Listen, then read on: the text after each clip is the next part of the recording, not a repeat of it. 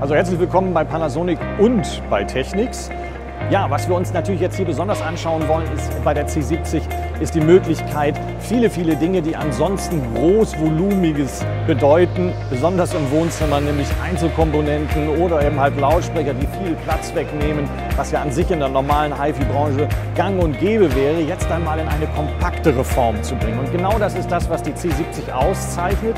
Sie bringt auf relativ kleinem Raum nicht nur voluminösen Klang mit, sondern natürlich auch viele Möglichkeiten, unter anderem die CD abzuspielen und natürlich auch andere Medien, die wir im heimischen Netzwerk benutzen, wie zum Beispiel Musik, die wir gespeichert haben auf einer NAS-Platte oder auf einem USB-Stick, aber auch die Welt, die Welt da draußen, sprich die Internetdienste wie zum Beispiel Deezer oder Spotify. Das ist das, was die C70 besonders auszeichnet und dann auch noch mit fantastischem Klang.